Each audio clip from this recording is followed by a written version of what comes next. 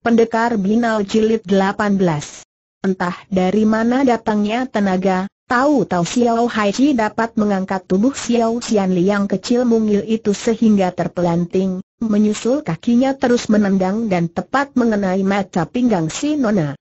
Sungguh mimpi pun Xiao Xianli tidak pernah membayangkan bahwa orang yang sudah sekarat itu masih mampu melancarkan serangan balasan, seketika ia merasa kaki kesemutan, menyusul tubuhnya terangkat dan roboh, kepala terasa pusing dan pinggang kena tertendang pula, habis itu robohlah dia terbanting. Bahkan Xiao Haiji terus menubruk dan menindihi tubuh Xiao Xianli, kedua tangannya bekerja tanpa berhenti, setiap hiatsu yang dapat dicapainya segera ditutupnya tanpa ambil pusing hiatsu penting atau tidak. Kejut dan girang pula Tisimlan, dengan suara gemetar ia bertanya, Hai, Haiji, bagai, bagaimana sampai terjadi begini? Kan sudah kukatakan sejak tadi bahwa dia takkan mampu memukul mati aku, ucap Xiao Haiji dengan tertawa, napasnya terengah-engah, tubuhku ini dibesarkan dalam rendaman air obat, waktu orang lain masih menetek, aku sendiri sudah mulai minum obat, jangankan dia, biarpun sepuluh kali lebih keras daripada dia juga tak dapat membuat aku menggeletak tak bisa bangun lagi. Tapi, tapi tadi, tadi aku sengaja berlagak begitu untuk menipunya, tutur Xiao Haiji dengan tertawa. Dengan begitu ia akan lengah, lalu ku tambahi caci maki pula supaya dia marah, jika marah kepalanya menjadi pusing dan akulah yang tertawa senang. Akhirnya Tisimlan mengikik tawa dengan air mata dan ingus masih meleleh di mukanya. Tapi dia masih kurang yakin, ia tanya pula, kau benar tidak apa-apa? Xiao Haiji terus berdiri tegak, jawabnya dengan tertawa, badanku yang laksana otot kawat tulang besi ini masakan dapat dicelakai oleh dua tangannya yang putih halus itu? Pukulannya tadi pada hakikatnya terasa seperti pijat saja bagiku. Namun pijat itu sesungguhnya bukan sembarang pijat, walaupun mulutnya berkata demikian, sekujur badannya terasa sakit jarum, ruas tulang pun terasa lemas semua.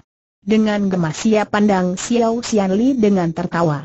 Sudah kukatakan akan kubalas berapa kali pukulanmu, utang harus bayar, satu kali pun tidak boleh kurang, sembari berkata pukulan pertamanya benar-benar dilontarkan. Berturut-turut ia pukul empat kali, pukulannya sungguh tidak ringan.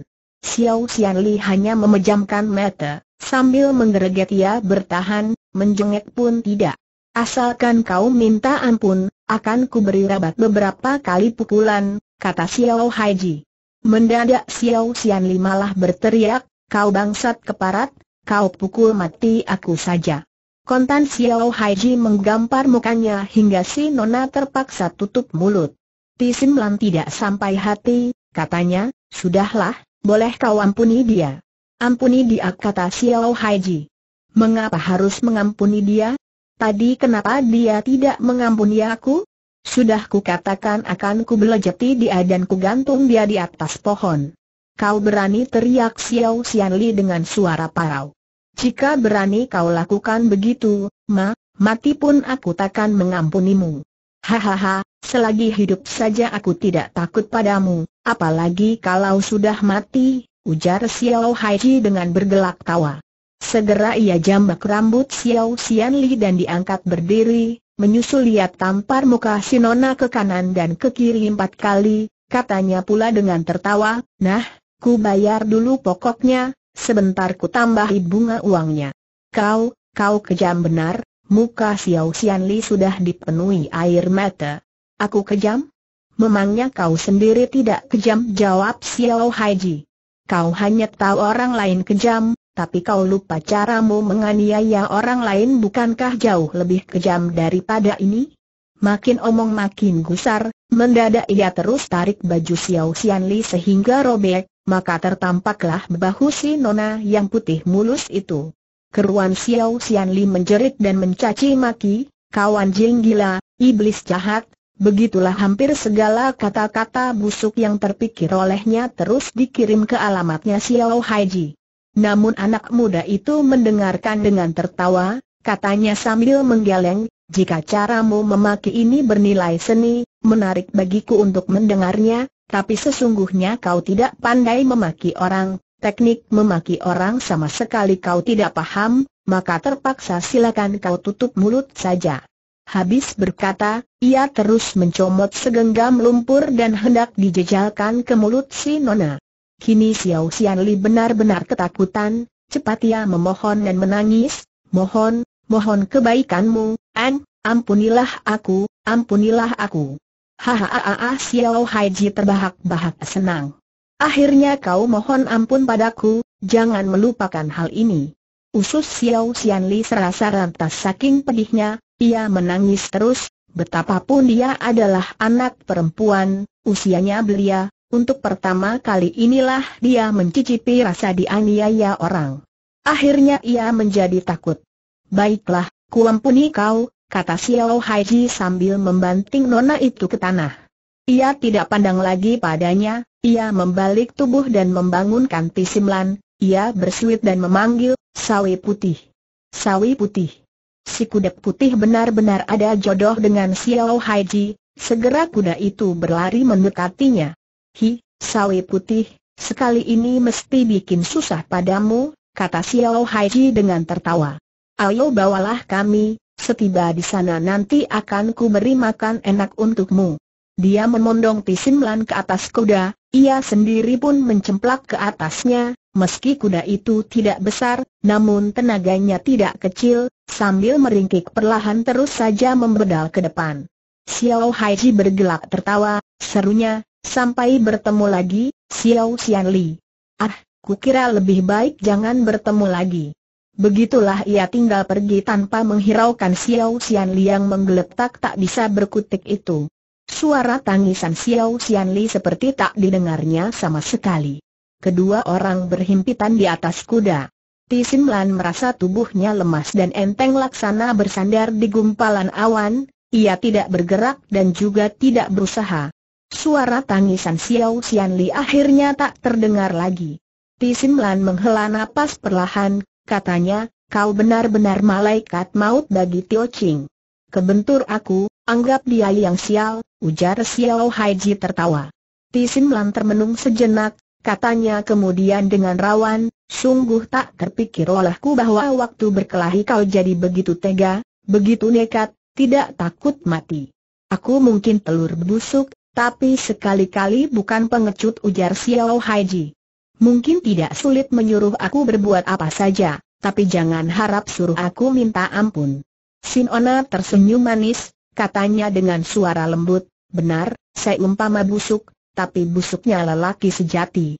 Cahaya bintang dan bulan cukup terang, sehingga bayangan mereka jelas kelihatan di tanah, bayangan mereka berdua yang berhimpitan itu seakan-akan lengket menjadi satu.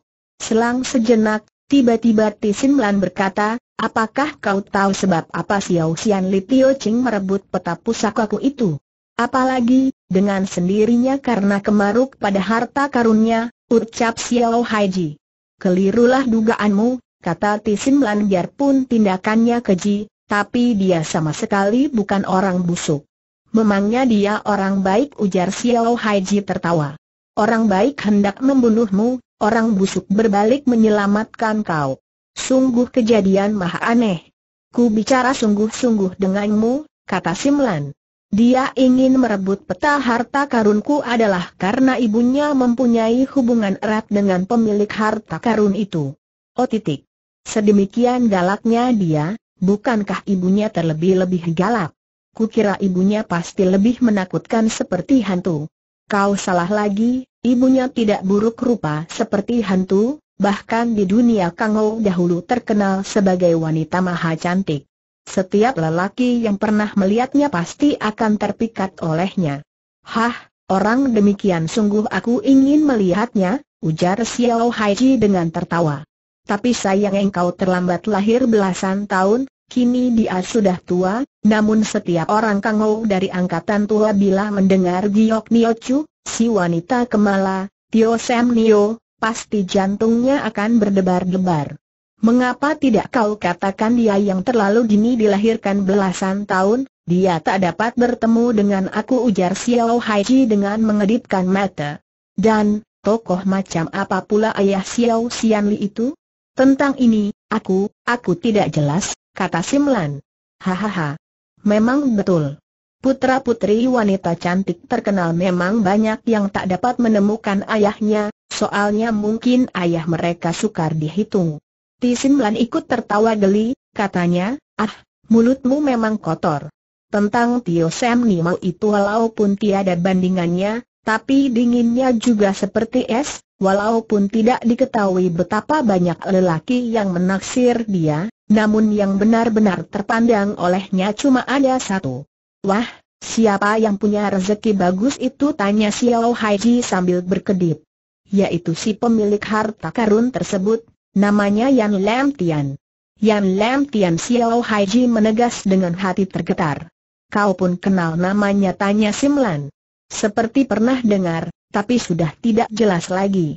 Jika kau pernah dengar nama ini, tidak seharusnya kau lupa. Dia adalah pendekar pedang yang paling terkenal di dunia Kangou dahulu, ilmu pedangnya sampai sekarang belum pernah ada yang sanggup menandinginya. Oh Xiao Haiji mendengarkannya dengan terpesona. Meski dia tidak cakap, tapi dia adalah lelaki yang paling berjiwa ksatria sejati di dunia Kangou, sungguh sayang aku pun terlambat lahir belasan tahun dan tidak sempat melihatnya. Eh, apakah kau perlu bantuanku untuk mencarinya? Tanya Xiao Haiji dengan tertawa. Kau tak dapat menemukannya lagi, siapa pun tak dapat menemukannya ujar Tisimlan. Menurut kabar yang tersiar di dunia Kangou, konon belasan tahun yang lalu, Entah sebab apa dia menerobos ke Okejin Kok dan sejak itu tak pernah muncul pula. Walaupun ilmu pedangnya tiada tandingannya, tapi dikerubut oleh kawanan Durjana sebanyak itu mungkin, mungkin sukar meloloskan diri baginya. Oh, oh Xiao Haiji jadi termangu-mangu mengenang masa lalu. Peta harta karunku ini konon adalah tinggalan Yan Tai Hiap sebelum pergi ke Okejin Kok, tutur Simlan pula. Agaknya beliau menyadari pasti akan sukar keluar lagi dengan selamat, maka sebelumnya dia telah mengumpulkan segenap benda mestikanya serta kitab ajaran ilmu pedangnya yang tiada tandingannya di seluruh jagat, semuanya itu disembunyikan pada suatu tempat yang dirahasiakan. Untuk bisa menemukannya diperlukan petunjuk menurut peta pusaka ini. Xiao Haiji manggut-manggut, katanya, ya, benda mestika tidak cukup menarik, tapi kitab wasiatnya itu sungguh membuat orang mengiler. Siapa yang menemukan kitab pusaka itu, siapa akan menjagoi dunia persilatan, pantas jika petamu diperebutkan orang sebanyak ini. Tapi Xiao Xianli bukan ingin memiliki kitab pusaka ilmu pedang itu, ia hanya ingin menghibur ibunya. Sampai di sini, sekilas Tisimlan melihat sesuatu di atas tanah, seketika hatinya bergetar dan berseru, Hi, Li, lihat ini. Sudah sejak tadi kulihat bahwa bayangan di atas tanah sudah bertambah satu, ujar Xiao Haiji dengan tertawa. Benar juga, bayangan mereka yang berhimpitan itu kini telah bertambah pula sesosok dan tepat berdiri di bokong si kuda putih. Namun kuda putih itu terus berlari ke depan seperti tidak merasakan apa-apa. Xiao Haiji masih dapat menenangkan diri, tapi Tisimlan menjadi gugup, ia pegang tangan Xiao Haiji dan menarik tali kendali sekuatnya, serentak si kuda putih meringkik keras dan menegak sehingga Tisin Lan terperosot jatuh. Kau takut apa jengek seorang tiba-tiba? Jika hendak mencabut nyawa kalian, sudah sejak tadi kulakukan. Jika kau takut, sejak tadi aku sudah melompat turun, tukas Xiao Haiji dengan tertawa. Hehe, benar juga, orang itu terkekek-kekek. Kau ini rada-rada aneh, aku jadi ingin berkawan denganmu, makanya aku terus menguntit kemari. Suaranya terdengar tajam dan nyaring, tapi seperti kekanak-kanakan. Dengan kaget Simlan merangkak bangun, waktu ia menengadah, terlihat seorang berbaju hitam berperawakan kurus kecil berdiri di atas bokong kuda sehingga mirip orang-orangan atau ondel-ondel yang ditempelkan di situ. Selain pakaiannya hitam ketat gemerlapan, mukanya ternyata juga memakai topeng hitam, hanya sepasang biji matanya yang jelas kelihatan, matanya tampak berkedip-kedip dalam kegelapan menambah misteriusnya. Serentak Tisimlan ingat seseorang, serunya, Hi, engkau inikah oh Titu, si labah-labah hitam. Hah, benar, kau juga kenal aku si baju hitam tertawa aneh. Meng, mengapa engkau berada di sini? Sebenarnya kaulah sasaranku, jawab oh Titu. Tapi demi nampak anak muda ini, rasanya jadi tertarik, jauh lebih menarik daripada pusaka yang kau bawa itu. Karena ingin mengikat persahabatan dengan dia, terpaksa ku kesampingkan urusan peta pusaka. Hahaha, sungguh tidak nyana ada orang menganggap diriku lebih berharga daripada peta pusaka harta karun, sahabat demikian aku pun ingin kenal, demikian seru Xiao Haiji dengan tertawa. Cuma, oh Titu nama apaan itu? Nama Oh Titu saja kau tidak kenal, pengetahuanmu sungguh amat dangkal. Di zaman ini, orang yang tidak tahu namaku masakah mampu berkecimpung di dunia Kangou kata Oh Titu. Mulai kapan kau menguntit diriku tanya Xiao Haiji. Waktu kau melumuri kuda putihmu menjadi kuda belang, perbuatanmu sudah kulihat, tutur roh titu atau si labah-labah hitam. Aneh, aku sendiri ternyata tidak tahu, ujar Xiao Haiji.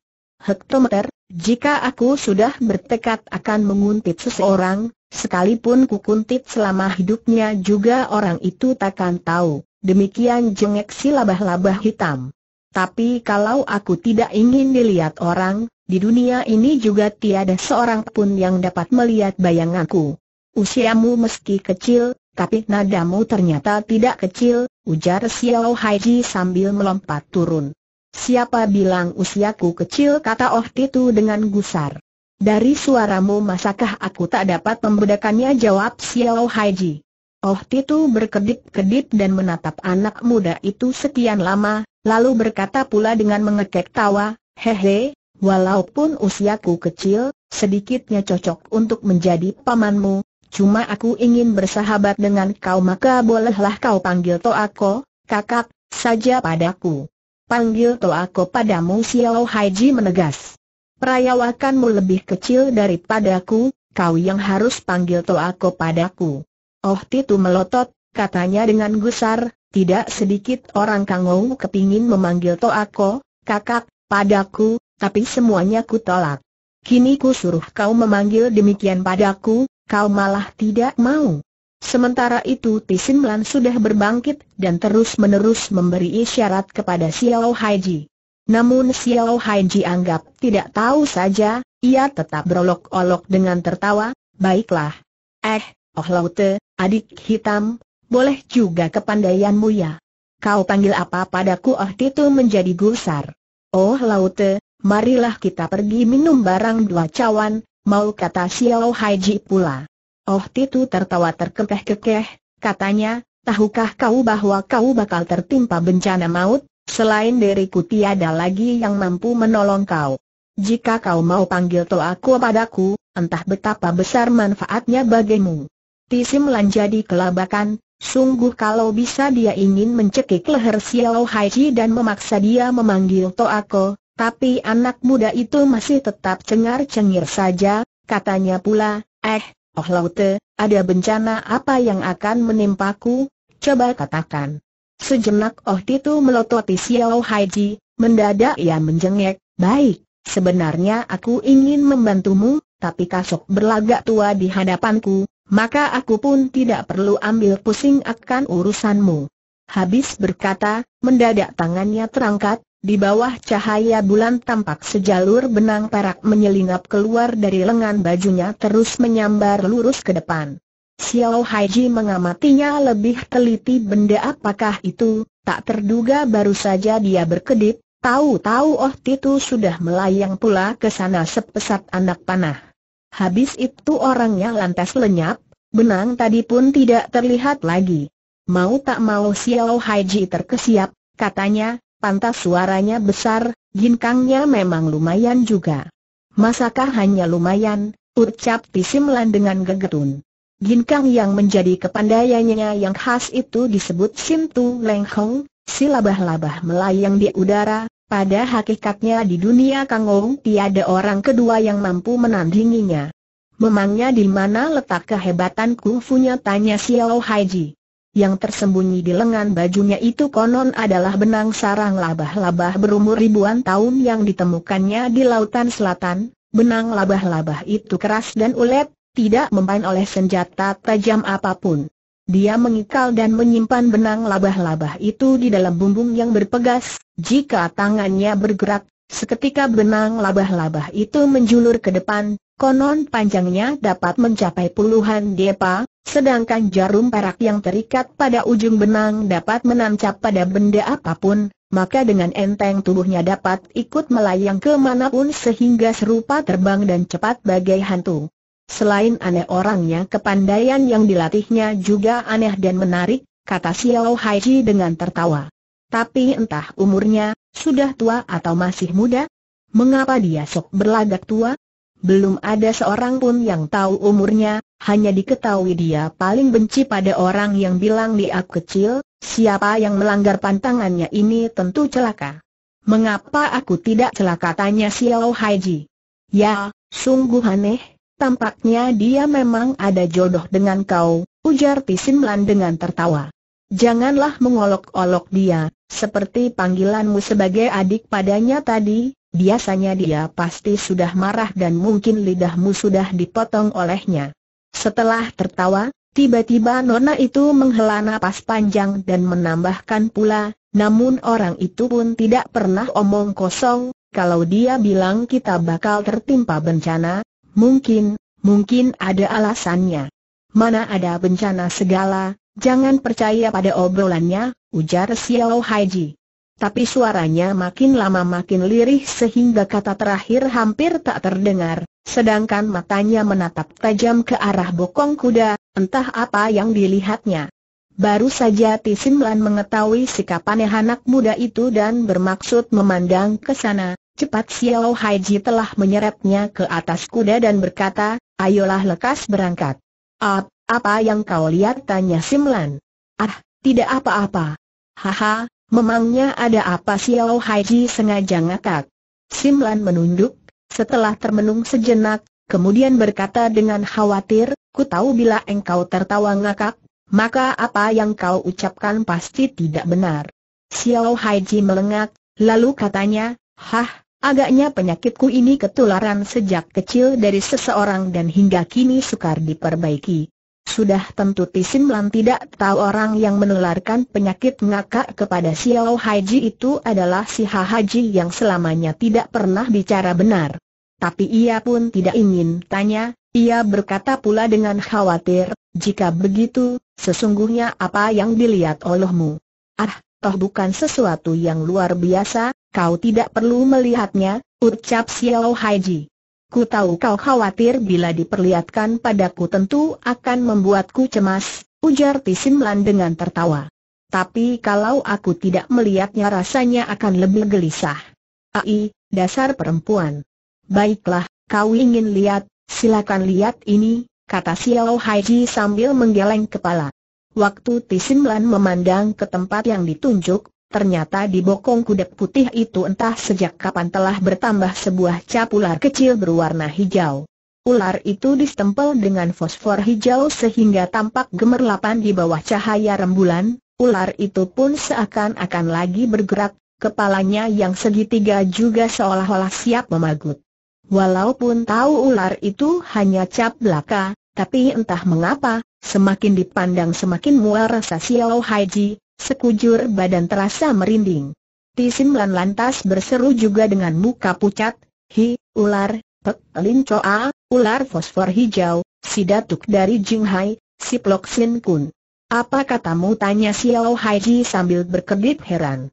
Engkau tidak paham, engkau tidak tahu, ucap Simlan dengan muka pucat. Hi, cuma sebuah cap ular saja, kan bukan ular hidup, kenapa kau ketakutan? Ular hidup tidak menakutkan, yang tiruan inilah yang menakutkan. Aneh, tidak takut pada yang tulen, tapi takut pada yang tiruan, mengapa bisa begitu? Tisimlan menarik napas panjang, lalu bertutur, Pek Lin Choa ini ialah simbol si datuk dari Jinghai, si Plok Sin Kun, malaikat pemakan rusa. Di mana simbol muncul, di situlah orangnya berada. Kalau orangnya sudah akan datang, maka bencana segera akan tiba pula. Lalu si Sin Kun ini permainan apa lagi tanya Xiao Haiji. Pernahkah kau dengar nama Cap Ji Shishio tanya Simlan? EHM, seperti pernah tapi juga seperti belum pernah, jawab Xiao Haiji sambil berkedip. Cap Ji Shishio ini adalah sekawanan bandit yang paling kejam dan jahat selama 30 tahun terakhir ini. Biasanya mereka jarang turun tangan, tapi kalau mereka sudah mengincar sesuatu, maka orang yang menjadi sasaran mereka itu jangan harap akan dapat lolos. Selama 30 tahun ini konon mereka cuma pernah gagal satu kali. Dan ular hijau tentunya salah satu dari Capji Sisyo itu? Benar, jawab Simlan. Si Sin Kun ini adalah salah seorang yang paling culas dan keji di antara Cap Ji Sisyo itu sarangnya di Jinghai. Ai, seharusnya sebelumnya sudah kuduga akan dia. Kenapa harus kau duga sebelumnya? Tanya Xiao Haiji. Konon gagalnya usaha Cap Ji Sisyo satu kali itu justru terjungkal di tangan Yan Lam Tian, Yan Tai Hiap. Kalau mereka mengetahui Yan Tai Hiap meninggalkan harta karun dan kitab pusaka, Mustahil mereka mau tinggal diam. Sungguh tidak nyana, sekecil ini usiamu, tapi tidaklah sedikit urusan yang kau ketahui, kata Xiao Haiji dengan tertawa. Sejak kecil aku sudah berkecimpung di dunia Kangou, dengan sendirinya pengetahuanku tentang dunia Kangou juga lebih banyak dibandingkan orang lain. Kelak engkau akan tahu sendiri jika sudah banyak bergerak di dunia Kangou. Semakin banyak yang kau ketahui, Semakin banyak pula yang kau takuti, ujar Xiao Haiji. Maka ada lebih baik tidak tahu segalanya, ketemu siapa pun tidak peduli, kalau perlu labrak saja dan urusan belakang. Tapi sekarang kita sudah tahu, lalu bagaimana baiknya tanya Tisimlan. Kalau kita tak dapat melawannya, paling selamat adalah lari? Lari? Apakah dapat lolos gumam si Nona? Begitulah dua orang bersatu kuda segera dilarikan secepatnya hingga mereka menanggalkan kedok yang dipakainya, sedangkan mulut si kuda putih pun sudah berbusa. Xiao Haiji mengusap leher kuda itu, katanya perlahan, kau tentu lelah, sawi putih, sungguh aku menyesal. Tisimlan memandang anak muda itu dengan tertawa geli, katanya, sungguh aneh, mengapa kau lebih baik terhadap kuda daripada manusia? Sebab kuda ini pun lebih baik daripada orang lain terhadapku, jawab Xiao Haiji. Simlan menghela napas, katanya, siapa tidak baik padamu? Aku. Kau baik padaku? Umpamanya waktu aku tak dapat berjalan, dapatkah kau menggendong aku berlari berpuluh jauhnya? Bila hatiku masgul, dapatkah kau tutup mulut tanpa bicara? Sebab itulah aku pun tidak lebih baik daripada kuda, jika kau baik terhadap kuda ini, maka dia pun takkan meninggalkan dirimu, lebih-lebih takkan mengeluarkan ucapan yang menyakitkan hatimu. Gemas sekali Tisimlan mendengarkan olok-olok itu, karena geregetannya sungguh kalau bisa ia ingin menggigit anak muda itu sekeras-kerasnya. Tidak lama kemudian, tertampaklah di depan sana ada sebuah kampung kecil, meski Fajar baru mulai menyingsing, namun atap rumah penduduk di kampung itu sudah sama mengepulkan asap dapur. Asap yang hijau kekelabu kebuawan itu berpencaran di udara yang remang putih laksana sebuah lukisan yang indah. Lihatlah betapa permainnya, ujar Simlan dengan tertawa. Hitam kotor begitu, apanya yang permai jawab Xiao Haiji. Satu-satunya kebaikan bagiku itu adalah asap yang mengepul itu menandakan kita bakal dapat makan nasi.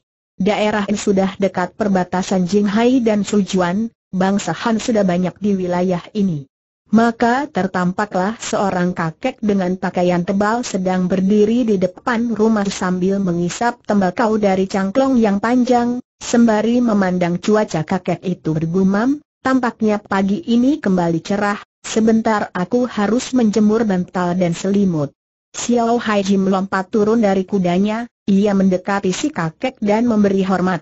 Katanya dengan tersenyum, apakah Lo Tiang, Bapak, ada tersedia makanan atau minuman? Sudilah memberi sedikit kepada kami kakak beradik ini. Kakek ini memandangnya sejenak, lalu memandang pula Tisimlan yang berada di atas kuda, kemudian ia tertawa dan berkata, Haha, tamu cilik, jangan sungkan-sungkan, asalkan kalian sudi pada makanan kasar, silakan masuk, lekas.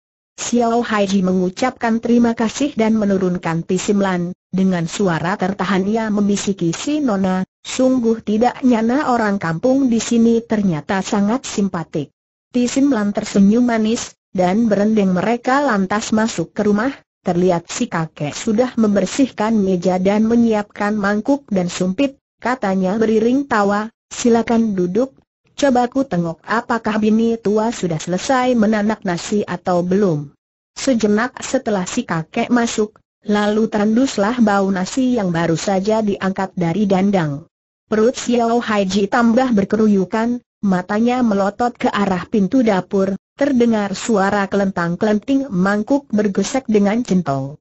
Akhirnya keluarlah seorang nenek ubanan dengan membawa dua mangkuk nasi yang mengepul, masih hangat-hangat.